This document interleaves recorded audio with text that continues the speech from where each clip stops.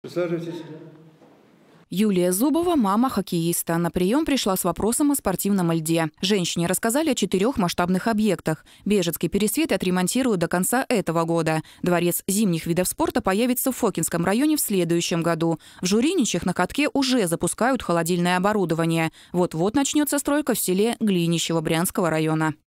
Как вы думаете, хватит места теперь? Хватит ли, да? Это, это будет очень замечательно. С проектом о почетном звании «Доброволец года» и соответствующей атрибутики пришли брянские волонтеры и их наставники. Правительство России аналогичное решение уже приняло. Осталось подключиться регионам. На Брянщине новую награду будут вручать трем лучшим добровольцам в году. Давайте вашу инициативу, так, комитеты проработают, Дума проработает, и будем принимать это звание.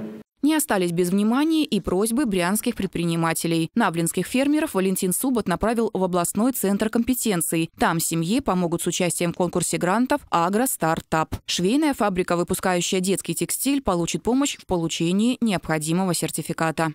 А это уже просьба из разряда финансовых. Большая семья лишилась жилья во время пожара. Своих средств на новое у нее нет. Спикер облдумы посоветовал не тянуть с поиском подходящих квадратных метров и пообещал довести информацию об оказании помощи до своих коллег-депутатов. Все приемы примерно одинаковые, поэтому сегодняшний прием тоже был такой же плодотворный. Этими вопросами будем заниматься. В принципе, я думаю, что в ближайшее время какие-то вопросы уже будут решены. Светлана Дробкова, Виктор Левченков, Брянск.